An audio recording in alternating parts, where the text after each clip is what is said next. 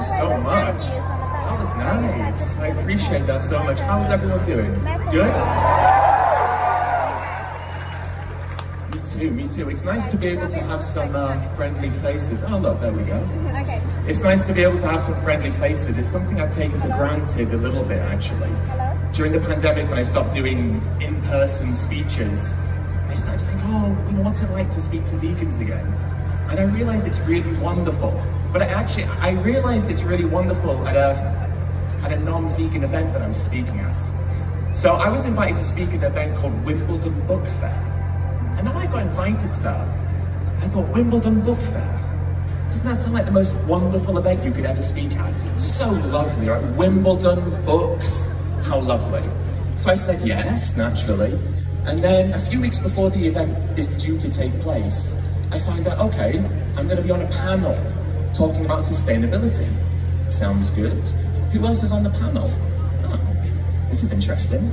There's this lady here called Jane. Who's Jane? Well, it turns out she just published a book called The Great Plant-Based Con.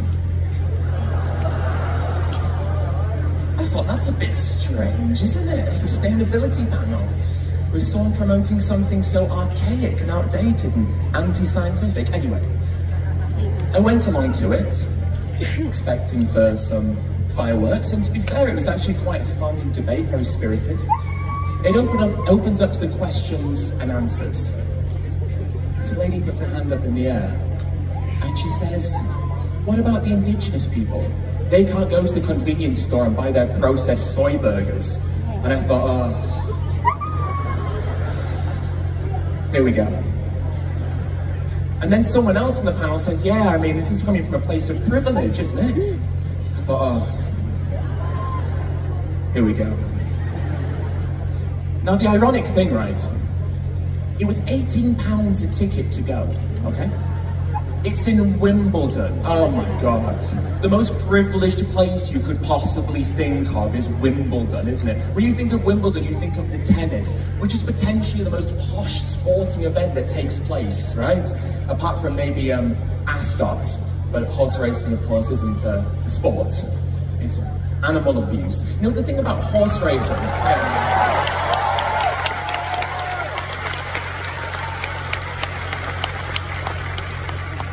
The thing that I always found interesting about horse racing is how people take credit for what someone else has done. Oh, I whipped an animal and made them run really fast. Thank you very much for my medal. It's like, since when was that a sport? Crazy, right? Anyway, Wimbledon, super posh. And I'm being accused of privilege in a place where it's 18 pounds a ticket to see a 45 minute sustainability panel. I couldn't believe it. But to make matters even worse, the lady who was debating against me was debating in favor of grass-fed beef. And not only just grass-fed beef, regenerative grass-fed beef. You can't even find that in supermarkets. It doesn't exist. You can't find it. I couldn't believe it. I'm being accused of privilege from someone who's advocating for food you can't even find. Isn't that absolutely outstanding? Like, wow, isn't that amazing?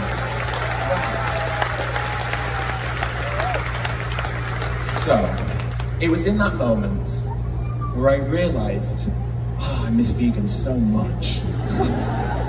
Jesus, where's the voice of reason in all here?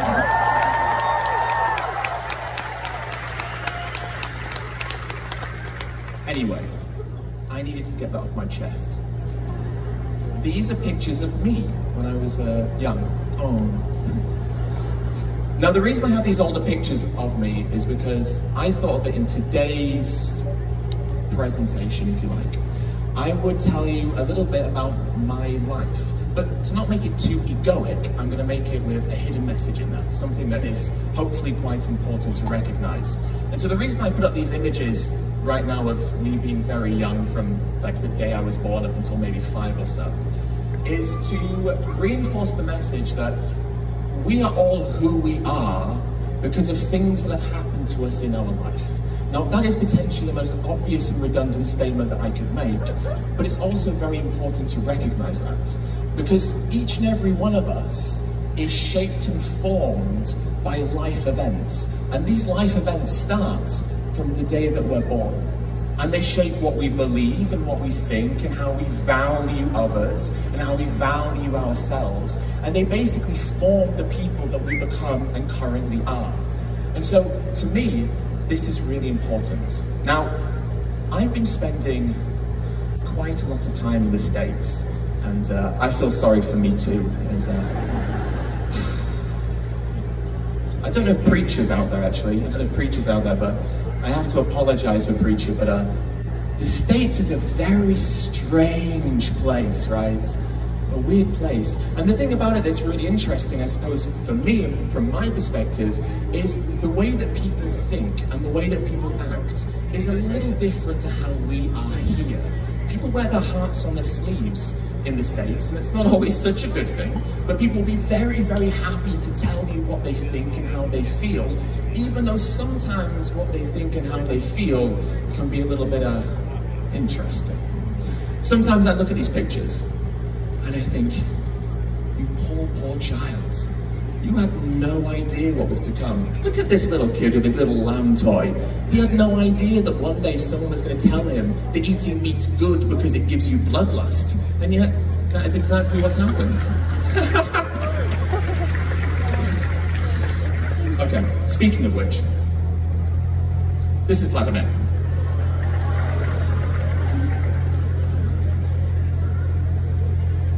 yeah, exactly. The China Wall. Right.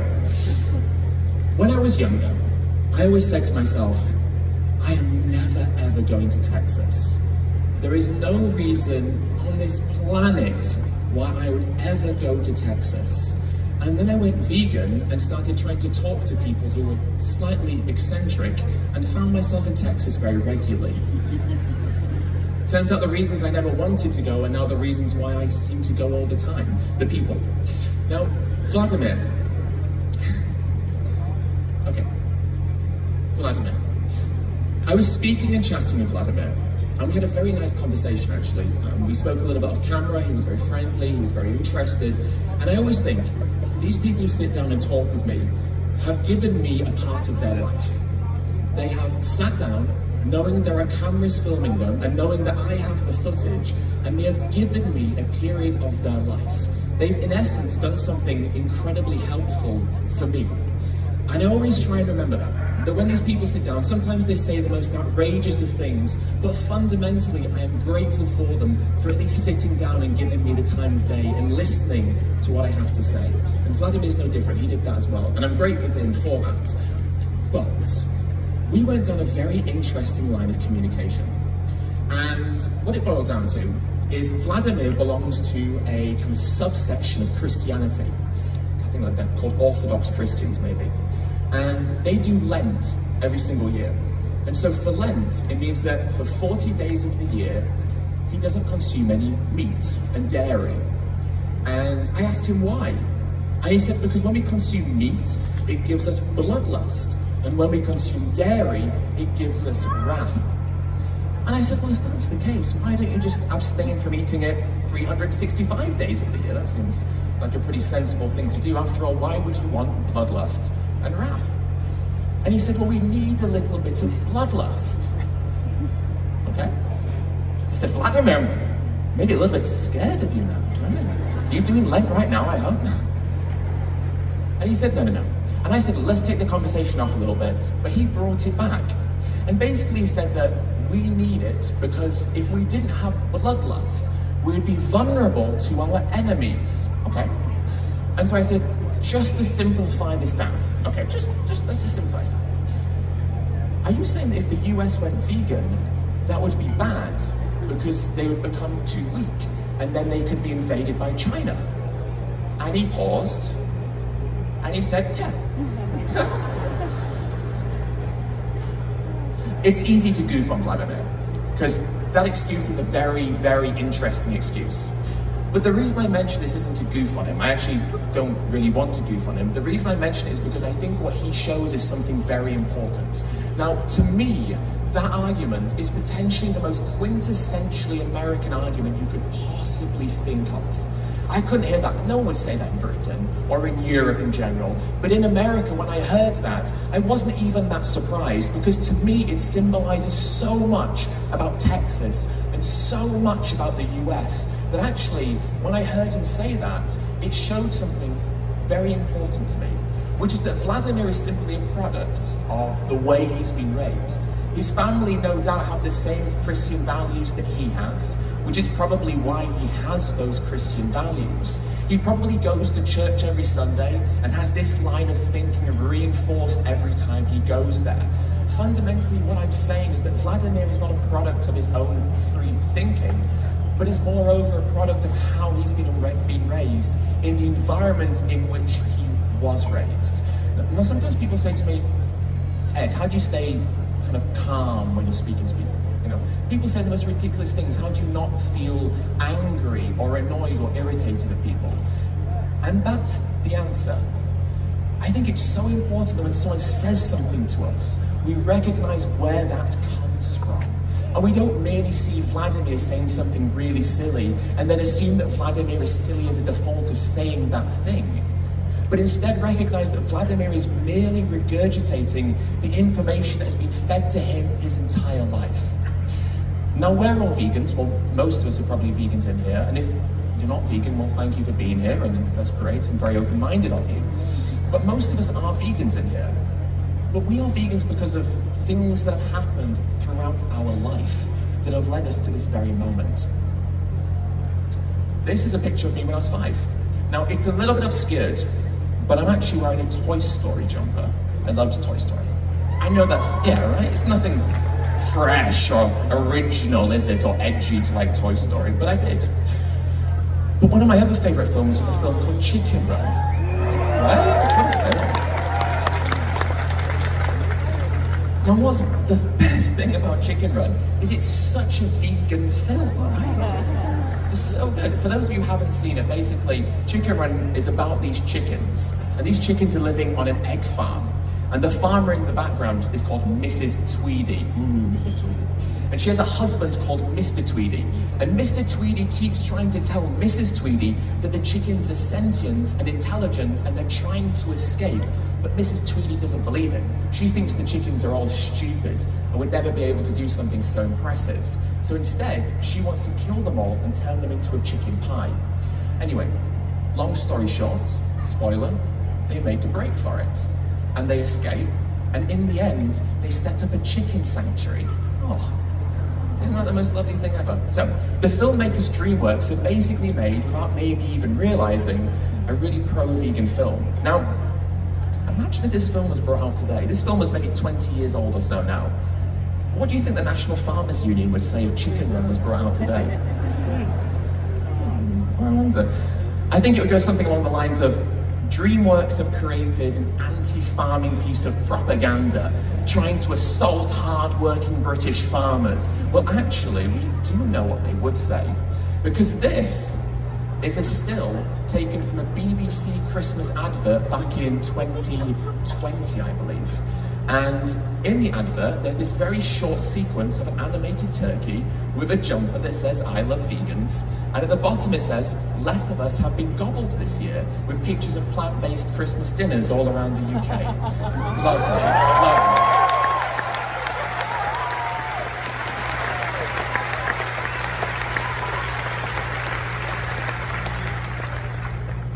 What do you think the National Farmers Union said about this? This will cause great frustration for those livestock farmers who feel this is further evidence that there is a wider BBC agenda against livestock farming and rural communities in the UK. My God.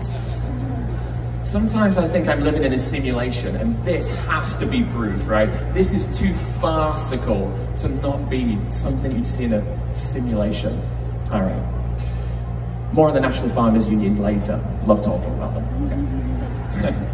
This is me, 11 years old, fishing. I used to go to Scotland quite regularly with my family. Yeah? Yes, it's, not bad, not bad. That's beautiful in Scotland, beautiful. But one of the things that we used to do is fish, not so good. And what we used to do is go to this trout lake, or trout kind of pond place, and we'd fish for trout. And we would never kill the fish. We would catch them and release them. And then we would go to a shop and buy fish who had already been killed and take them home and cook them. The killing part was something that we never wanted to partake in physically ourselves. But on this particular day, I saw something which really stuck with me. I'd been fishing and I saw this man who had a fish that was alive and was flapping and flailing and panicking. And he held them down on a block and then bludgeoned them to death with a wooden mallet. And I remember looking at this even when I was 11 years old and thinking, my God, like, that's awful. How could you do such a thing? Like, what sort of person would bludgeon an animal? It was just so barbaric and visceral and awful. And even at that age, it stuck with me. And even though I had been fishing, that stuck with me. Now, the reason I think this story is important is because it shows how powerful our parents are in shaping how we feel about things. Now, fishing for me was fine. I went fishing. I caught fish, I released them. I ate fish because my parents had told me that those things were acceptable things to do, but we didn't kill the fish ourselves. And so my parents had told me that that was unacceptable. And so in a moment where I'm engaging in everything that other man is doing except the bludgeoning, the one thing that my parents have told me is not acceptable, I'm disgusted at, but not all of the other things that I'm partaking in that they told me are fine. In other words, how we feel about things is shaped by those around us and what they tell us and what we then are led to believe. Kyle. I've not uploaded Kyle yet, but I will be soon. Kyle was from Texas, and this conversation happened at a place called uh, Texas State University, which is in a place called San Marcos, which is just a little bit outside of Austin. And he sat down with me. We had a very interesting conversation. Kyle, by the way, was lovely. Really, really, he struck me in a very special way. And the reason he did that is Kyle is a hunter. And I asked him about hunting. And the first time I asked him about it, he said, well, I, did, I, didn't, I don't feel good about it. When I was a child, my parents used to take me out. I didn't feel good about it. I said, well, how did you feel?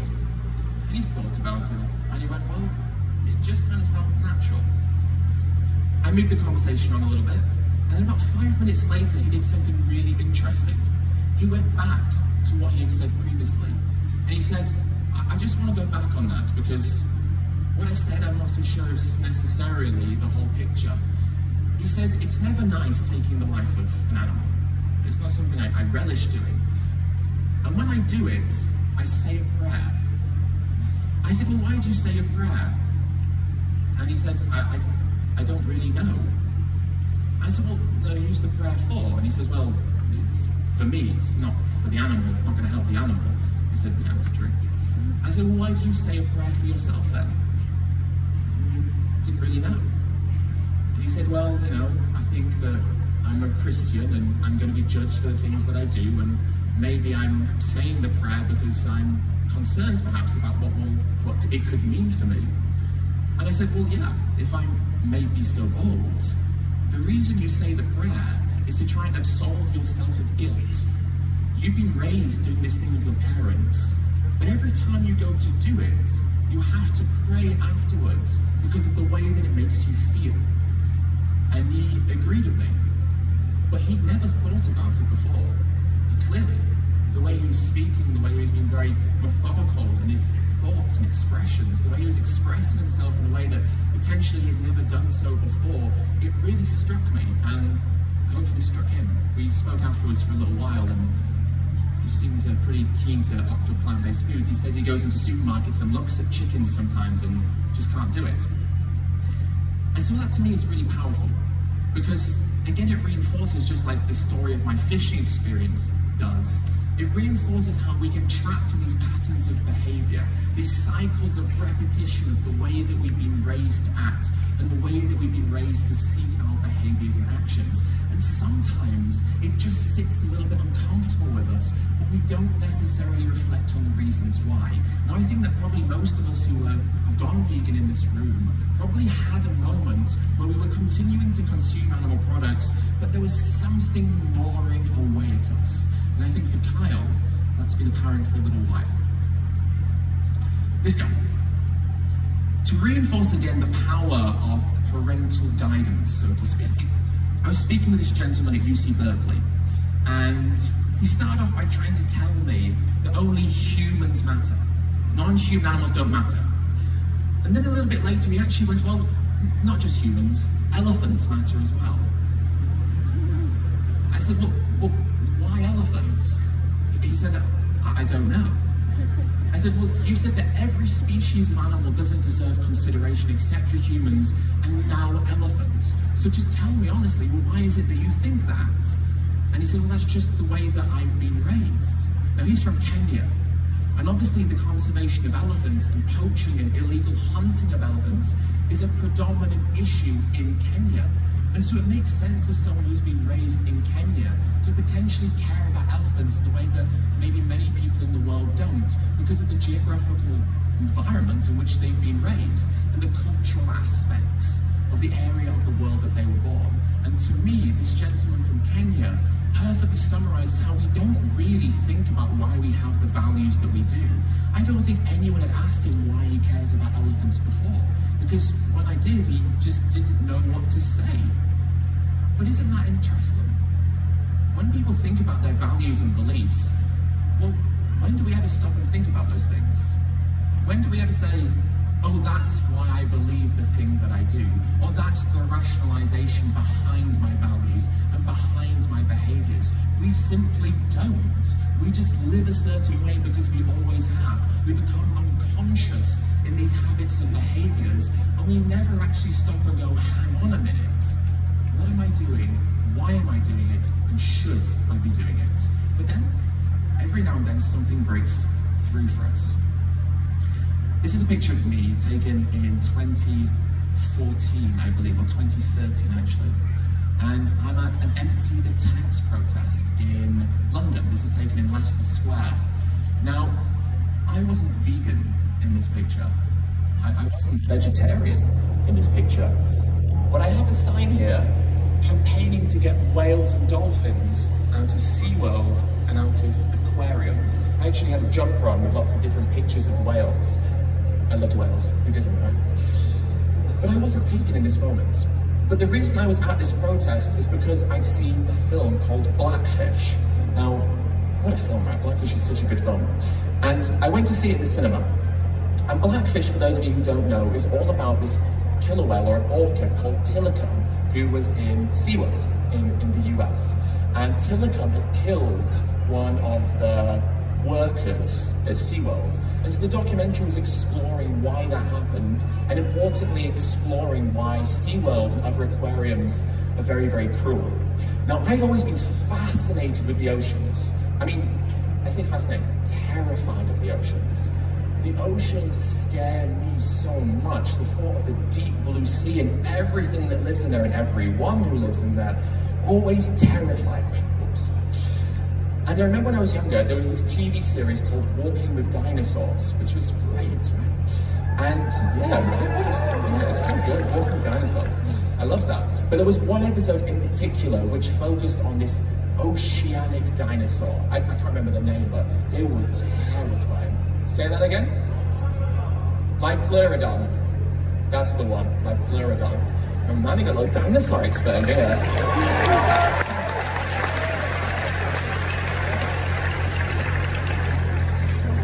Pleurodon was the one. Well, they were scary back in the day when they were roaming our oceans. And I used to watch this episode and always be terrified. And then as I grew, old, grew older, I started watching shark films. Obviously, Jaws was one of the big ones that I used to watch. I used to love watching Jaws. I still do. It's a fantastically made film, and it's also about a shark, which is scary. Let's hold on to that moment. Just we'll come back to that thought in just a second. But I watched Jaws because it was about the deep blue sea and a monster living within it who wanted to kill people.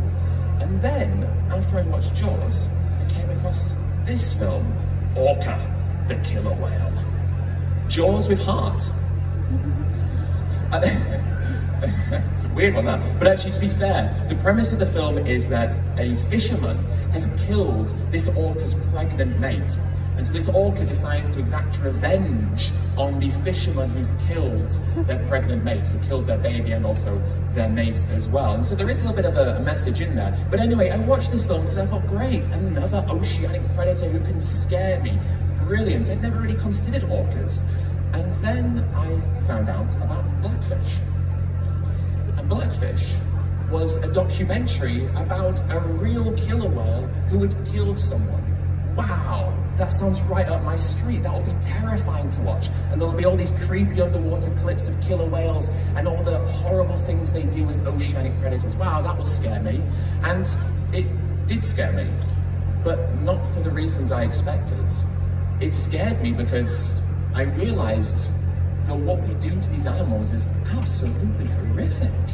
And not only that, but my preconceptions of these animals was completely wrong. I'd built them up in my head as being these predators who I should be fearful of, when actually they should be fearful of us, not the other way around.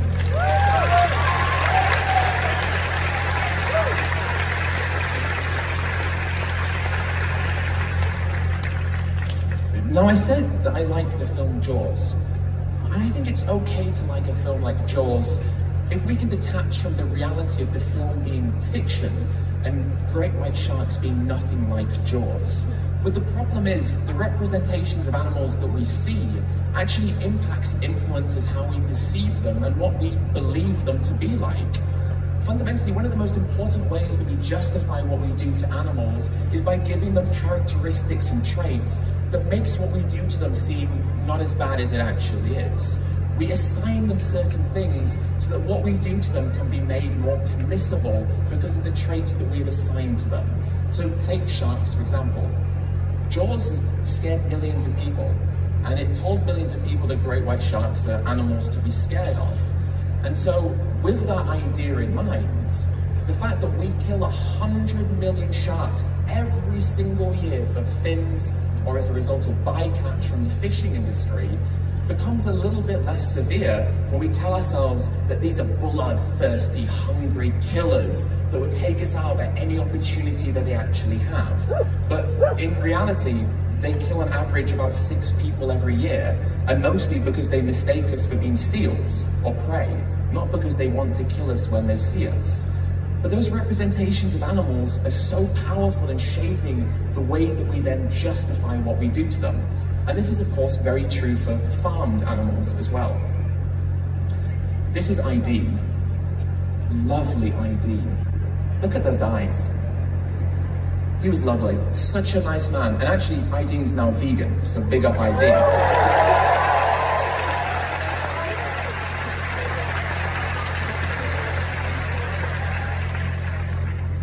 UC Berkeley.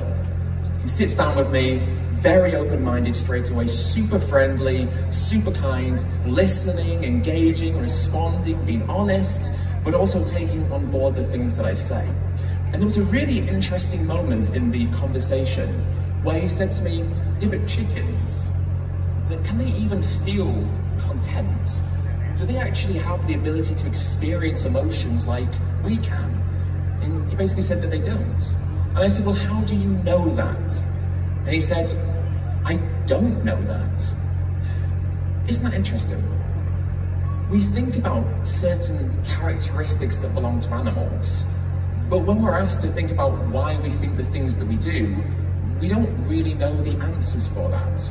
I had this really uh, funny conversation. This guy sits down with me, and uh, he starts naming nutrients, choline, vitamin K2, I think. And I'm responding to him, and I'm responding to him, and I said, look, how, how do you know this? Like, where's this information coming from? And he's like, well, I just looked it up before I sat down with you. very thorough, I must admit, well done.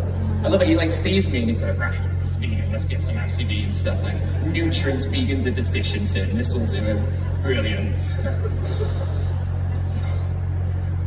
and I said, well, where, where do you get this information from? He said, websites. Oh, websites. Okay. Well, what websites are they? Oh, just a bunch of them. Oh, okay, okay. Can, do you want to tell me what these websites are? No, no, okay, fair enough, fair enough. The thing is, we never really think too deeply about where we got our information from. And the problem is we are bombarded with so much information every single day that we just don't simply fact check anything anymore. We seem to have lost the art of critical thinking at times. And Aydin was a perfect representation of that. He had all of these ideas about chickens, but he had no substantive evidence to be able to justify why he thought the way that he did. Ah, Martin Kennedy, my old friend. Martin Kennedy, he is the president of the Scottish branch of the National Farmers Union. Boo. No. Part of the reason why we think the things we do about animals and farming is because we are constantly bombarded with lies and manipulative propaganda that is seeking to try and convince us that we shouldn't be worried about what happens to animals. Martin Kennedy. I debated Martin Kennedy on Scottish television and uh, it was a very interesting debate.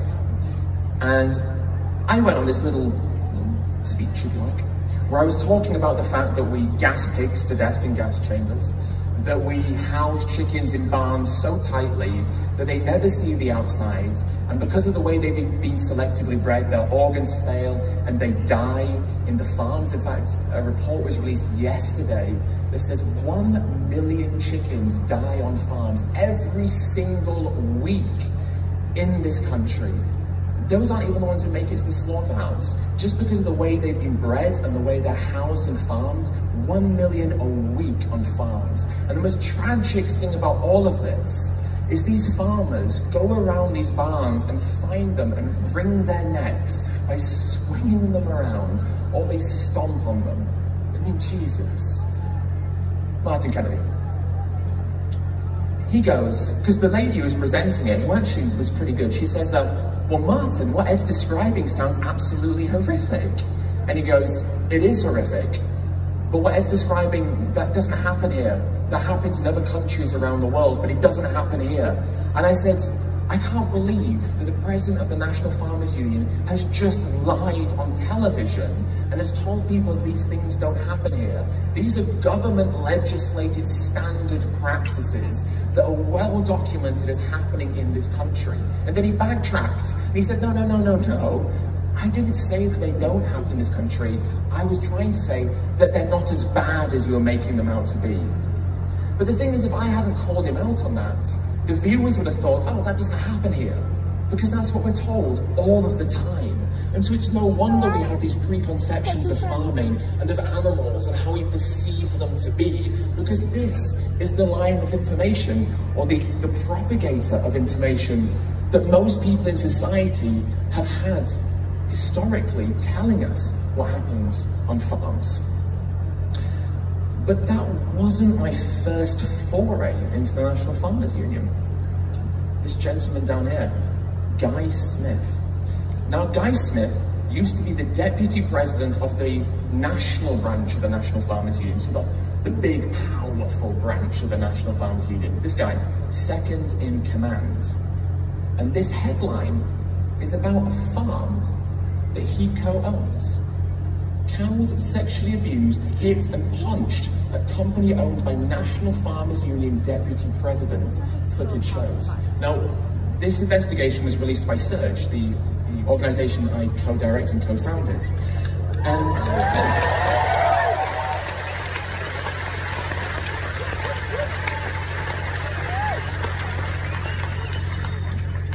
and this farm is part owned by the second most senior man at that time in the most powerful farming organisation in the UK.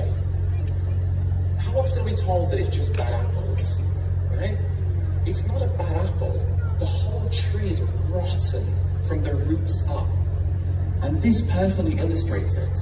We have the president of the Scottish National Farmers Union telling us that these things don't happen here.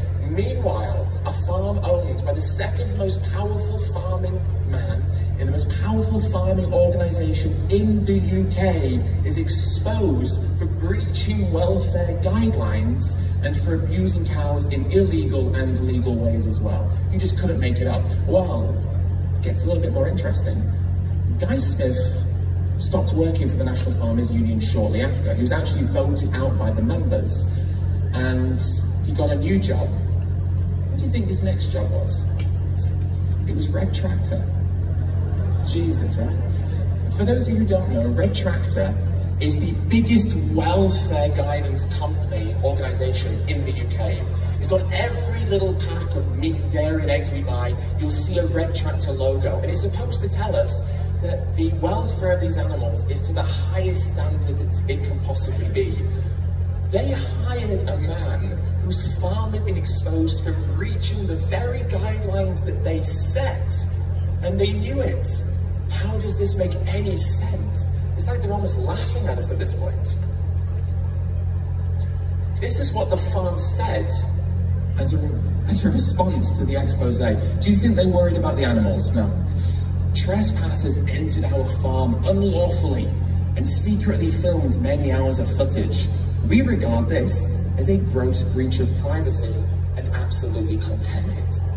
Oh, ooh, imagine that. Nothing was illegal, by the way. It was all perfectly legal. Imagine that. People come onto a farm and expose you for doing illegal things and for abusing animals. People are outraged about it, people are upset. And you try and blame the people who filmed it, not the people who did it. Can you imagine that? A gross breach of privacy. Well, it's a gross breach of the most basic moral standards to exploit and harm animals for profit. And you know what? I think these farmers can take that gross breach of privacy and shove it where the sun doesn't shine, which...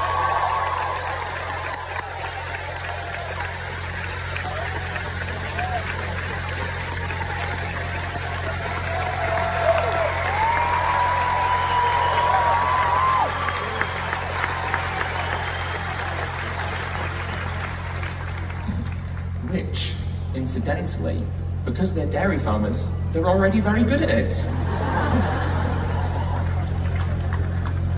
okay, flash forward.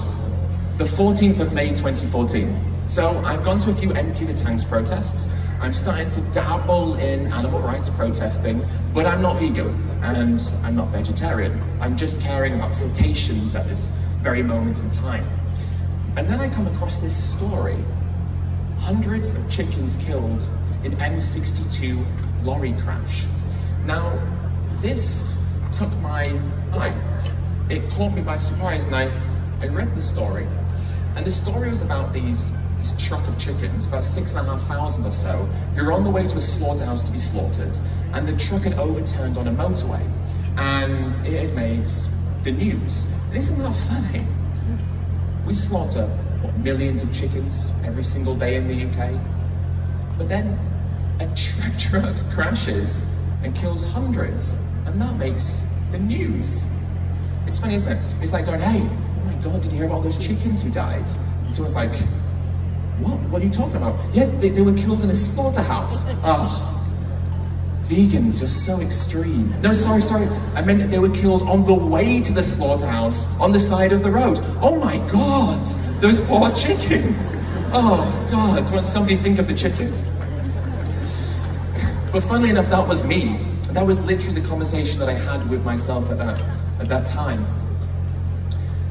We'll come back to that in just a moment. I saw this post on Reddit the other day. It took me by surprise. It's in a, a subreddit called Made Me Smile. And it says, firefighters are amazing people. Last week, we received a strange call, this is from the firefighters, but we were happy to be of service. This truck driver's truck broke down in Moberly while on his way to Iowa and was loaded with pigs. Due to the truck being broken down, he was unable to keep the pigs cool and was afraid they would die without some help. We happily agreed to spray down the pigs to keep them cool. Not long later, they were up and running and on their way to Iowa. It was an odd ask, but we are always here to lend a hand. Oh my God. The cognitive distance on this is absolutely surreal, isn't it? And it reminds me actually of this thing that happened, I think back in 2015 or 2016. And it happened in Canada. And there was this activist, a lady called Anita Krajnc, and she was going to a slaughterhouse in Toronto on a hot day, and there was a truck of pigs parked outside the slaughterhouse. And so she, with her water, went and gave some water to the pigs in the tank. Do you think that that made it onto Made Me Smile? Vegans are amazing people. No, she was arrested and she was threatened with 10 years in prison. There was even a trial. She, she was, you know, thankfully found not guilty, but the fact that it went to a trial and she was threatened with 10 years for giving water to pigs, whilst all of a sudden firefighters are amazing people for giving water to mm-hmm. pigs. Now, correct me if I'm wrong, but something just doesn't add up here. Because the situation's exactly the same. Pigs dehydrated on a hot day, going to a slaughterhouse. The act of providing water is exactly the same. It's just the only difference is firefighters and a vegan activist. Doesn't it just make you realize that maybe society's standards are a little bit illogical and inconsistent? Like how, you know, on a day like today, for example, if someone left a puppy in a car, you would be a hero if you broke the window and saved the puppy. But if you went into a farm this afternoon and rescued a piglet who was dying from heat stroke, you'd be regarded as a criminal. Hmm. This doesn't quite make sense, does it? Something's just uh, not adding up. Back to the chicken truck crash. These two, Emma and Louise, are fantastic people. Yeah, fantastic. So they run a dog rehoming centre uh, near Manchester called Dogs for Rescue, and they do amazing work rehoming dogs, absolutely. And actually, on the day of that crash in 2014, the crash happened right outside of their dog rescue centre. And they helped rescue 3,000 of the chickens who were involved in that crash. They brought them all into their dog rescue and onto their land and then rehomed them out to people. Isn't that amazing?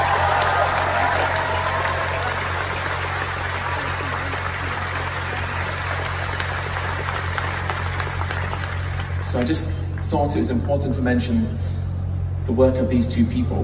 But at the same time as they were doing that, I was reading the story. Now, at that time in my life, I was a big fan of Domino's and KFC. This is a picture of me proudly with my Texas barbecue chicken pizza. Um, there was a picture of me with a KFC bag, but it was just so weird. So I decided I couldn't include it. This is as weird as it'll get. Um, I have my marine animals jumper on because I care about animals, clearly. Funnily enough. But anyway, I loved Domino's, but I also loved KFC. Now, KFC was my favorite food back then, and I loved fried chicken. And I'd go to my local KFC so often that the workers there would be like, oh, it's you again, you're Ed. And I'd be like, yeah, that's right. Um, Zinger box meal, please, pronto. And so that happened a lot. But I was reading this story about what was happening to these chickens, and it started to feel empathy for chickens, which I'd never felt before. Because I was like Ideen, the lovely man from UC Berkeley, who said that, do chickens even feel anything? That was me. That's what I used to think. Um, chickens, they're stupid, right? Everyone knows chickens are stupid because that's what we've been told.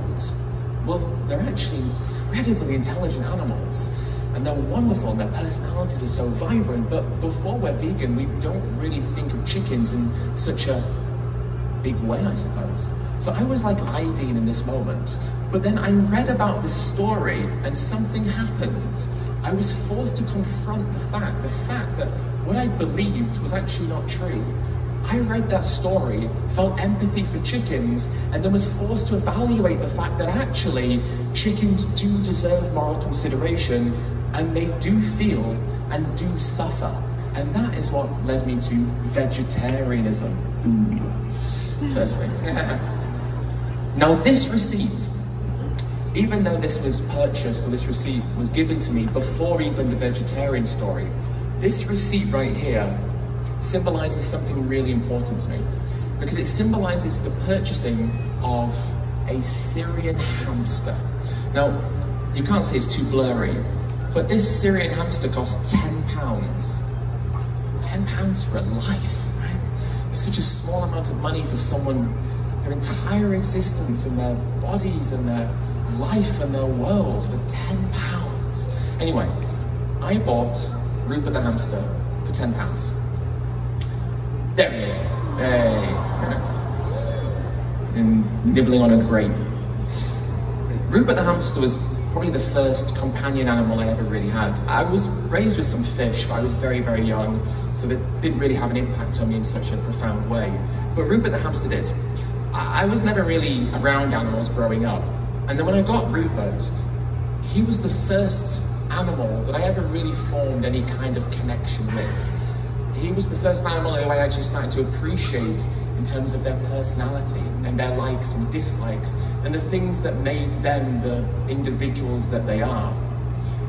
What I always think that is super interesting about that is if I'd gone into Pets at Home and bought another hamster, the receipt would say the same thing.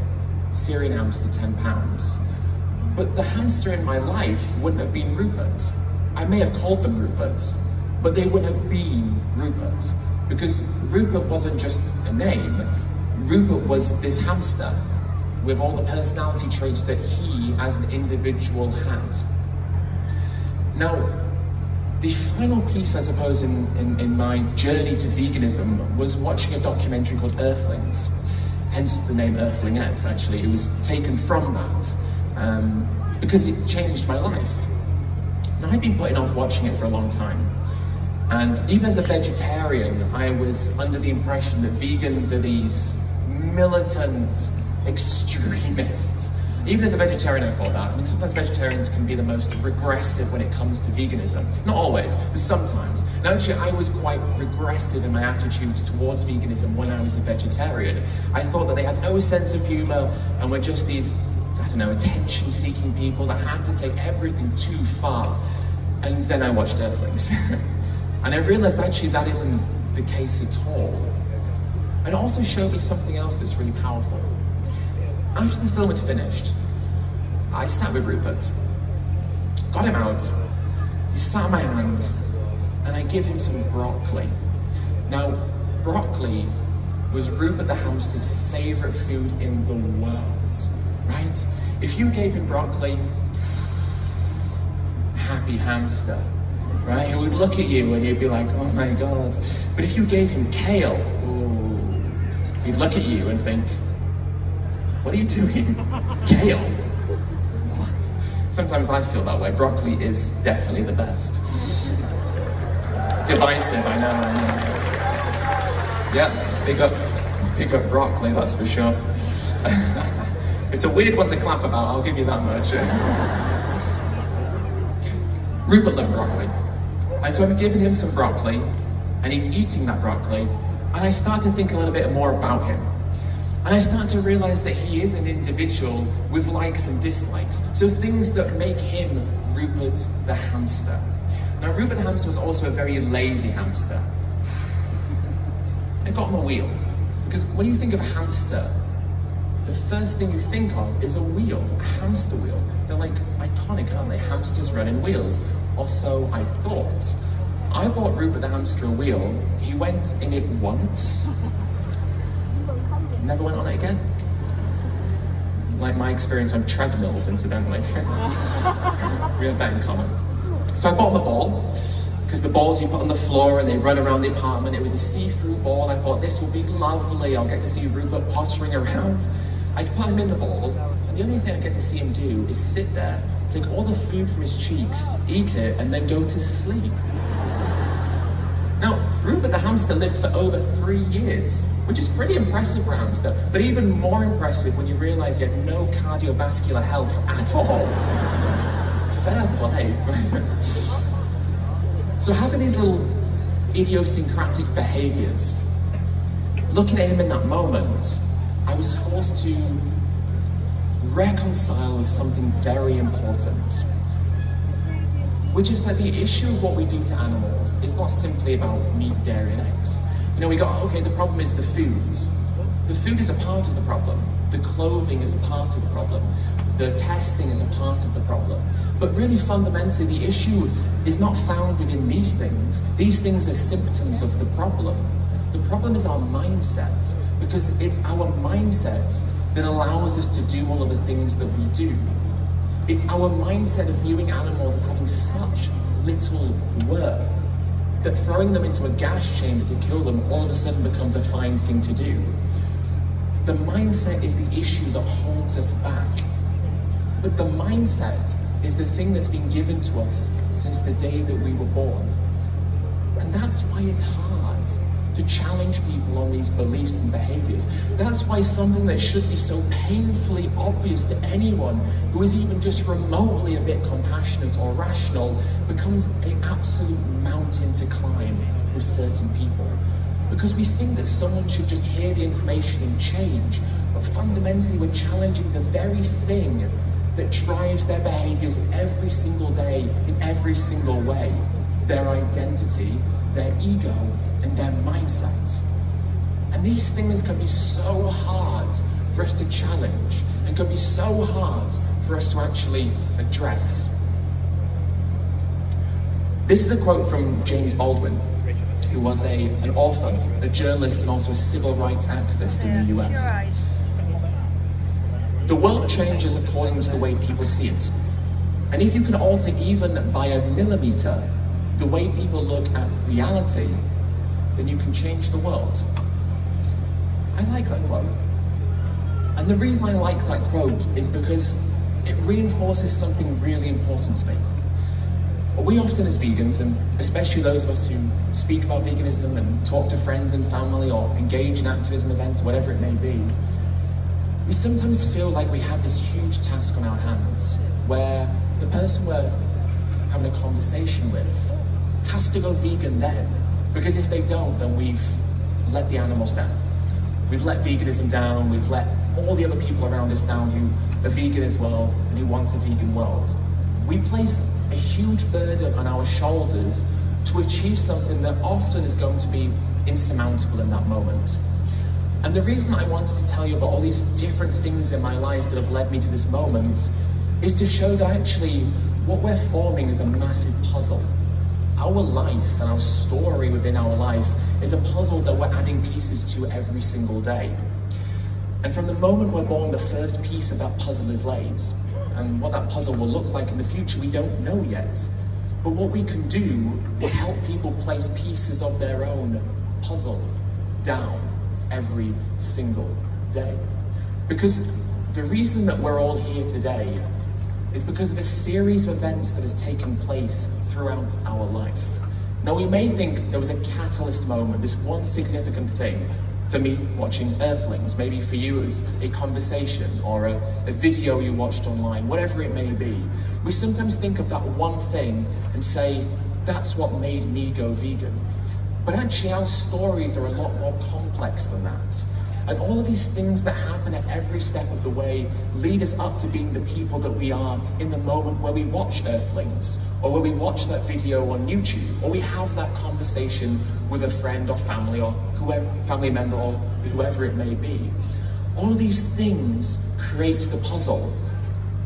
And to me, that's what this quote is saying. We're changing mindsets.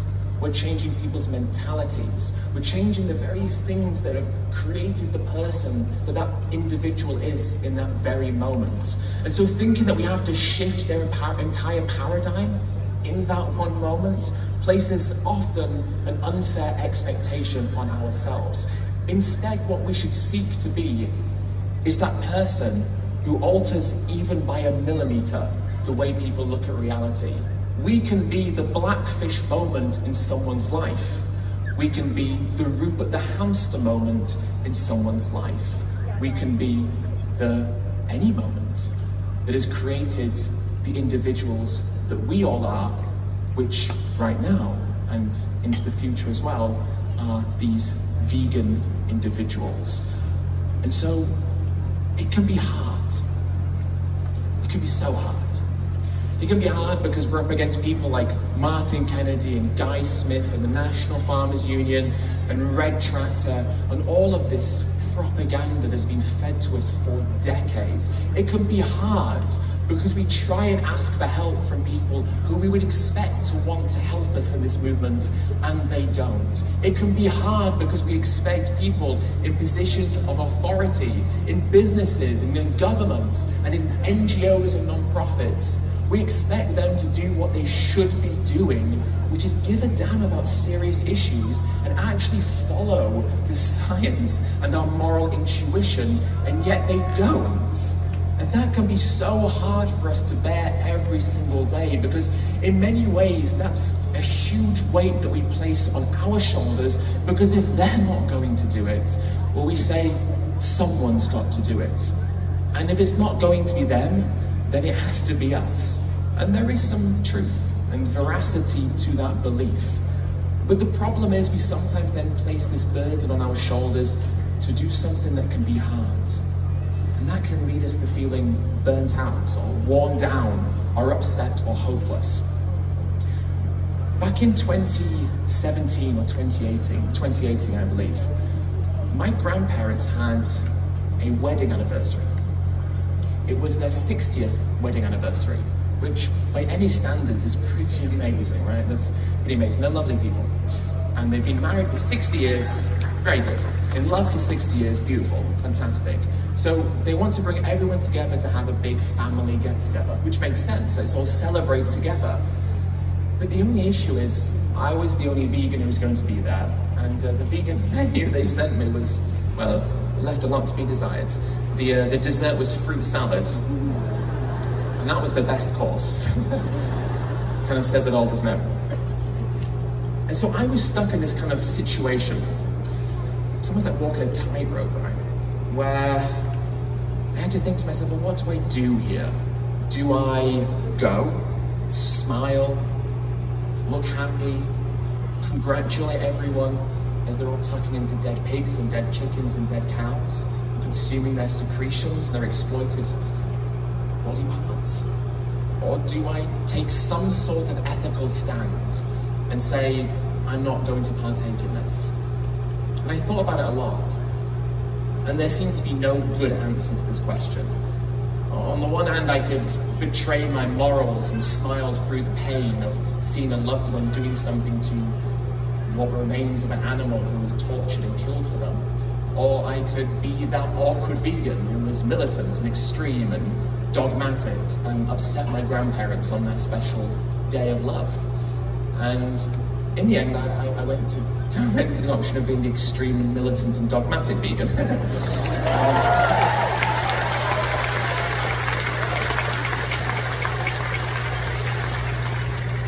it's funny that you clap at that because that makes me feel guilty in a way.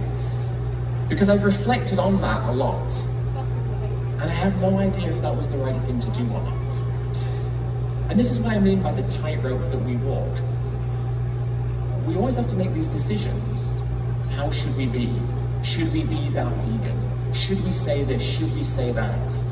And there just never seems to be a good answer in that moment because what is right is not always what is easy. And what is right might not always be what's so straightforward. Maybe sometimes it's not a good idea to cause an argument. Maybe sometimes it's not a good idea to upset your grandparents on their 60th wedding anniversary to make an ethical stance. But we just can't ever know what to do. And that's why veganism can be so hard. Because not only have we got to take this burden that lies on our shoulders of knowing the reality of what is happening, but then we're, then expected to walk an impossible tightrope of achieving two things at the same time, being amicable and being full of integrity. And that is really important.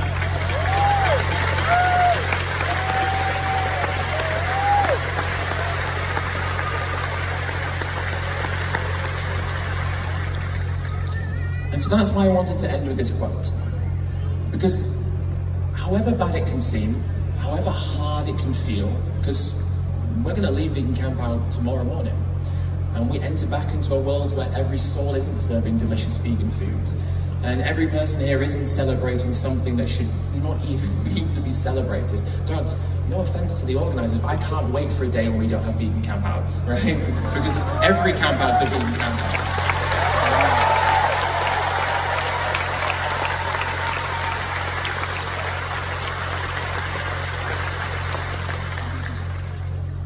Ultimately, like the tectonic plates that form our planet, the shift towards veganism is going to be created by movement of millimeters. But each millimeter is significant, and we should never doubt the power that we have in shifting conversations and people's mindsets, millimeter by millimeter. All right, guys, thank you for listening.